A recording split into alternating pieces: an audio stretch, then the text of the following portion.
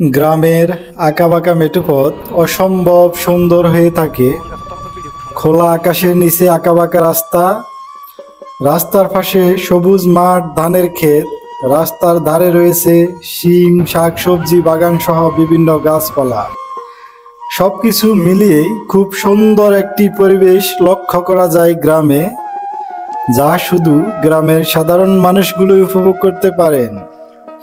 কথায় আছে, গ্রামের সৌন্দর্য যাকে মুগ্ধ করতে পারেনি, অন্য কিছুই তাকে মুগ্ধ করতে পারবে না। শহরে অনেক মানুষ আছেন যারা গ্রামকে ভালোবাসেন, কিন্তু সময়ের অভাবে গ্রামে গিয়ে গ্রামীণ পরিবেশের সাথে মিশতে পারে না। সেই জন্য আমি তৈরি করেছি আমার আজকের এই গ্রামীণ প্রামাণ্য চিত্র যা দেখে আমার শহরের মানুষগুলো দুধের স্বাদ গোলে মেটাতে পারেন। বন্ধুরা, আমি আছি আপনাদের সাথে তাজুল ইসলাম শাহেদ আর আপনারা দেখতেছেন শাহেদ এডিটিং টিভি। একটি কথা মনে রাখবেন, গ্রামের সৌন্দর্য ইন্টারনেটের ছবি দেখে বোঝা কখনোই সম্ভব নয়। গ্রামের সৌন্দর্য দেখতে হলে, বুঝতে হলে, উপলব্ধি করতে হলে আপনাকে গ্রামে আসতে হবে, গ্রামের মানুষগুলোর সাথে মিশতে হবে তবে আপনি বুঝতে পারবেন, এই গ্রাম যে কত সুন্দর, কত সবুজ শ্যামল। আজকের ভিডিওটি ধারণ করতে যিনি আমাকে সহযোগিতা করেছেন, তিনি হচ্ছেন আমার বন্ধু মোহাম্মদ আব্দুল কাইয়ুম। সবাই তার জন্য দোয়া করবেন এবং তার জন্য ভিডিওতে একটি লাইক দিয়ে দিবেন এবং চ্যানেলটি সাবস্ক্রাইব করবেন। আজকের গ্রামীণ দৃশ্য ধারণে আমি আছি নোয়াখালী সুবর্ণচর উপজেলার সাত নং পূর্ব চরবাটা ইউনিয়নে। আজকের ভিডিওতে যে গ্রামগুলো থাকতেছে, সেটি হচ্ছে দক্ষিণ সরমজিদ পূর্ব সরমজিদ এবং হাতিয়া সর নঙ্গলিয়ার কিছু অংশ। এখন আমি যে রাস্তায় আছি, এটা যদি বাংলাদেশের রাস্তাগুলোর গ্রেড অনুযায়ী চিন্তা করি, তাহলে প্রায় পাঁচ নম্বরে থাকবে এটা তালিকায়। তারপরে আমরা যাব ছয় এবং সাত নম্বরে। তাহলে আপনারা বুঝতেই পারছেন, একবারে গ্রাম থেকে গ্রামে মানুষগুলো কীভাবে বসবাস করে, তাদের জীবনমান। আপনারা এই ভিডিও দেখলে সবকিছু বিস্তারিত বুঝতে পারবেন। প্রতিটি গ্রামের নিজস্ব জীবন শক্তি রয়েছে। গ্রামের মানুষ পরিশ্রমী এবং সাদা মনের হয়ে থাকে। গ্রামের মানুষরা নিজে কষ্ট পাবে কিন্তু কাউকে কষ্ট দেবে না। গ্রামের মানুষ নিজে বঞ্চিত হবে কিন্তু কাউকে আপন করে নিতে ভালোবাসতে তারা কখনো কৃপণতা করবে না। গ্রামীণ শিক্ষা ব্যবস্থা।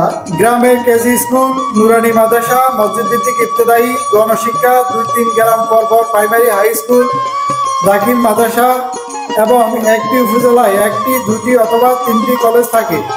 পড়ালেখার জন্য গ্রামের ছেলে মেয়েদের অনেক দূরের পথ পাড়ি দিতে হয়। গ্রামের নারীদের কথা যদি বলি, গ্রামের নারীরাও সহজ সরল এবং অধিকাংশ নারী স্বামী ভক্ত এবং ক্ষমতাশীল হয়ে থাকে। এছাড়াও গ্রামে জমি জমা সংক্রান্ত সমস্যা বেশি হয়ে থাকে। গ্রামে আসলে পাবেন একেবারে টাটকা শাকসবজি, স্থানীয় ফলমূল দেশি গরু, ছাগল, হাঁস, মুরগি, গরু, মহিষের খাঁটি দুধ এবং দধি। সেই সাথে পাবেন বিশুদ্ধ বাতাস এবং গ্রামের বিশুদ্ধ, মানুষের বিশুদ্ধ ভালোবাসা, আদর, আপ্যায়ন। গ্রাম যত দেখি, ততই মুগ্ধ হচ্ছি আমি। যদিও আমার জন্ম গ্রামে হয়, কিন্তু গ্রাম যতবারই দেখি, গ্রাম দেখার স্বাদ কখনো মেটে না। এত কিছু দেখতে দেখতে এখন আমি ছয় নাম্বার রোড পেরিয়ে সাত নাম্বার রোডে প্রবেশ করলাম। তো এই সাত নাম্বার রোডে প্রবেশ করে কিছু দূর সামনে গিয়ে আমি দেখি হাতে ডানে একটি পোলট্রি মোরগের খামার। খামারটি বাড়িতে এবং সম্পূর্ণ গ্রামীণ পরিবেশে তৈরি করা হয়েছে।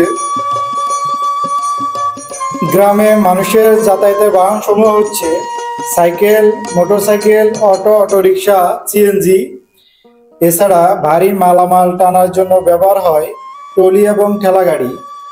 দূরবর্তী কোনো জায়গায় যাওয়ার জন্য নৌকা স্পিড বোট এবং বাস আছে। বাসের জন্য যেতে হয় স্টেশনে আর নৌকা স্পিড বোটের জন্য যেতে হয় নৌঘাটে। গ্রামের অধিকাংশ মানুষ কৃষি এবং জেলে পেশায় নিয়োজিত। এছাড়া চাকরি, ব্যবসা এবং অন্যান্য পেশায়ও অনেকে নিয়োজিত আছে